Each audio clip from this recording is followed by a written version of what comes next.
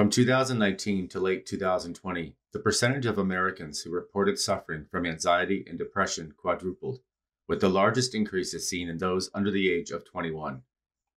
Young people with pre existing mental health conditions were being hit particularly hard, with the impacts of life in lockdown and virtual classrooms taking their toll.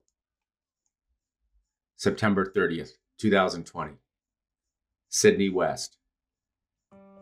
19 year old female Sydney West was last seen in San Francisco, California on September 30th, 2020. The college freshman had taken a pause from her classes at UC Berkeley to recover from a recent concussion. She was last seen at around 6:45 a.m. at San Francisco's Golden Gate Bridge, but due to the fog and the smoke from recent wildfires, she was quickly lost on the bridge's security cameras. Apart from being a beautiful national landmark, the Golden Gate is also a bridge with a dark reputation, with recent statistics estimating that there is one attempted jumper almost every other day. Is Sydney's case another sad chapter in the history of the bridge by the bay? Or did Sydney fall victim to foul play, amnesia, or perhaps something more personal? Sydney West had grown up in Pleasanton, California, before relocating to North Carolina with her parents and younger sister sometime after 2017. She's described by her family as a sweet and goofy girl who had a strong love for the outdoors, animals, the environment, and music, playing piano and writing her own songs and lyrics. She often appeared at open mics around her new hometown in North Carolina.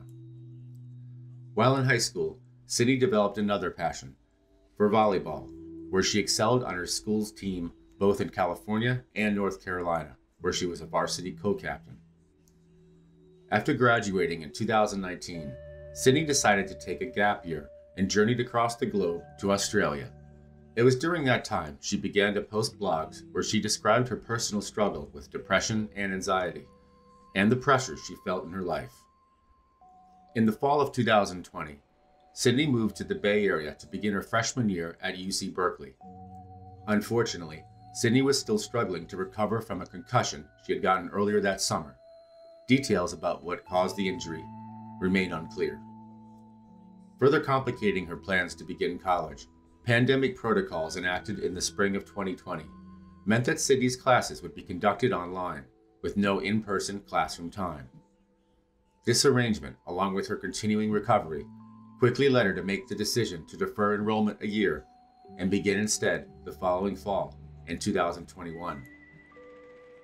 With college temporarily on hold, Sydney did not return to North Carolina, instead, choosing to stay living in the Bay Area with family friends.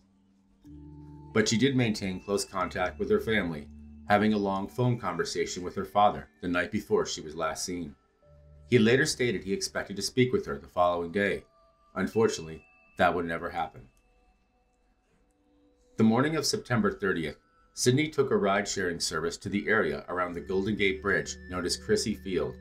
She was known to be carrying her phone, headphones, and a backpack. It was not unusual for Sydney to go to the Golden Gate, either for exercise or to take in the amazing scenery and to take pictures for her blog. The last thing known about Sydney's whereabouts is security camera footage from the Golden Gate, which shows her entering the bridge's pedestrian walkway.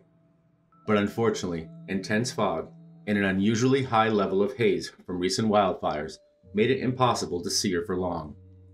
Investigators were unable to locate any camera footage of her exiting the bridge, although that could be explained by the lack of consistent or clear footage that morning.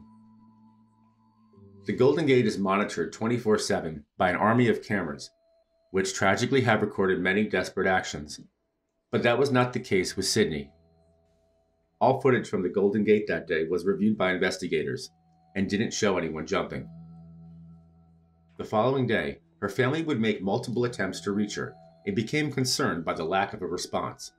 Soon after, they contacted local authorities and reported Sydney as missing, mentioning her personal safety may be at risk due to depression. It wasn't long before investigators located Sydney's backpack near the Golden Gate, but it contained no indication as to where she might be law enforcement would eventually turn the backpack over to her family. The only items that have not been recovered were Sydney's headphones and her cell phone. Sydney's family has always believed that someone on the bridge that morning, either walking, running, cycling, or driving across, must have seen their daughter.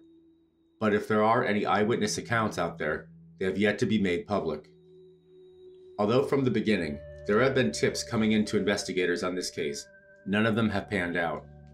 Furthermore, law enforcement has had very little to say about Sydney's case, other than they do not believe it to be foul play.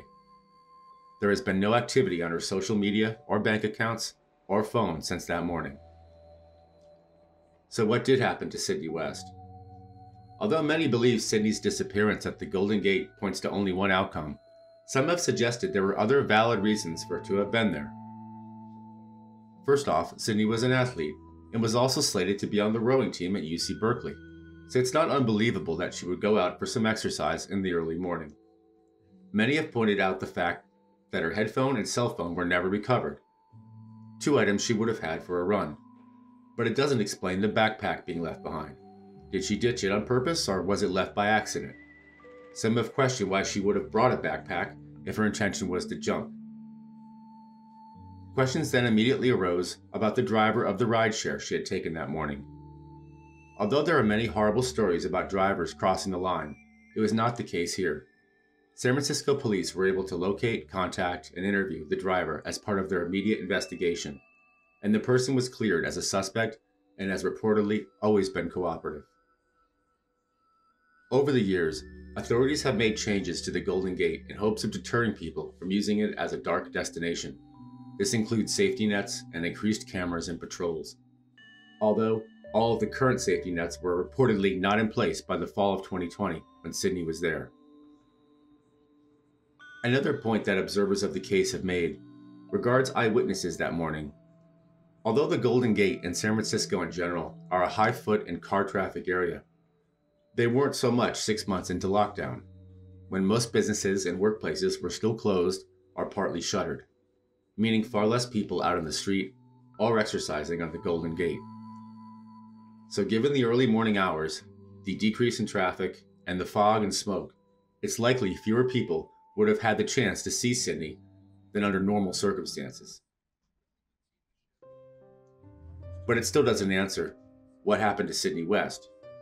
Did the troubled young college freshman succumb to her mental health demons? Or was she simply at the bridge that morning for some exercise, but instead ran into foul play? Although there have been no credible sightings or tips that may suggest a different outcome, some observers have speculated that she could have been kidnapped or abducted in the foggy, early morning hours. Others have suggested that Sydney may have orchestrated another gap year, or perhaps longer than a year, and simply chose to leave her life and the pressures to excel that she had expressed feeling from her family and her impending future in college. If Sydney didn't make it across the Golden Gate that morning, it's possible no physical evidence may ever be found. And without any indication of her plans that day, or more information about her mental state being made to the public, we may never know what happened. Sydney's family continues to have an active presence online, with a website and social media accounts offering support and updates. They have also hired a private investigator to continue exploring the case. As of the making of this program, there have been no additional evidence, leads, or reported sightings made public regarding Sydney. Sydney West is 5 feet 10 inches tall 130 pounds with light brown hair and blue eyes. She was last seen wearing dark leggings, a light teal hoodie, and Vans brand sneakers with a tropical print. It's possible she could have been wearing her hair in a bun or have been carrying a black backpack. There is currently a reward for any information which could lead to finding Sydney and bringing her back home. Her family stresses that no detail is too small, so if you remember anything from that foggy morning, please reach out to the San Francisco Police Department or contact private investigator Scott Dudek.